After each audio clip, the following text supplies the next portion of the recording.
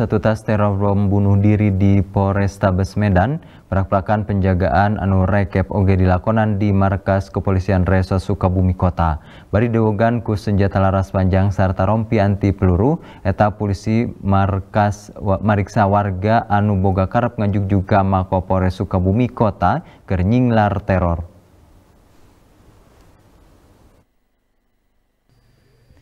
Kepolisian Resor Sukabumi Kota ngaronjatkan perak-perakan penjagaan di lawang asup Mako Polres satu tas teror bom bunuh diri di Polres Tabes Medan.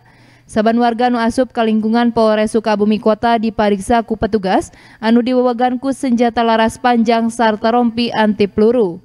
Eta perak-perakan pengamanan teh dilakonan kernyinglar teror bom turta lampahnya limpang ke pihak kepolisian. Eta pengamanan teh bakal dilakonan tapi kekayaan kondusif deui. Salah seorang warga Sukabumi Lala Latifah anu boga karep nyieun SKCK ngarasa rewas alatan pameriksaan rekep anu dilakonan ku petugas.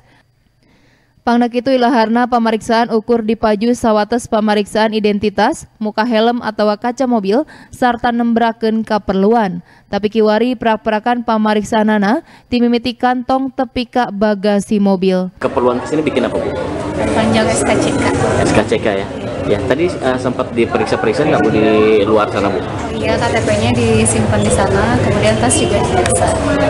Gimana Bu menurut Ibu tanggapannya uh, dengan pemeriksaan seperti ini?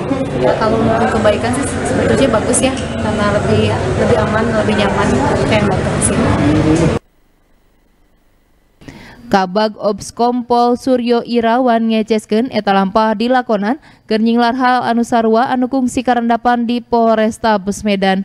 Lianti pemeriksaan pihak nage merenahkan sawatara personel di sababaraha tempat keur keamanan. Daripada uh, Mako Polres Kota dengan pasca terjadinya di Polrestabes Medan ini memperketat penjagaan, melakukan pemeriksaan terhadap warga masyarakat yang akan uh, ke Polres, uh, Mako Polres.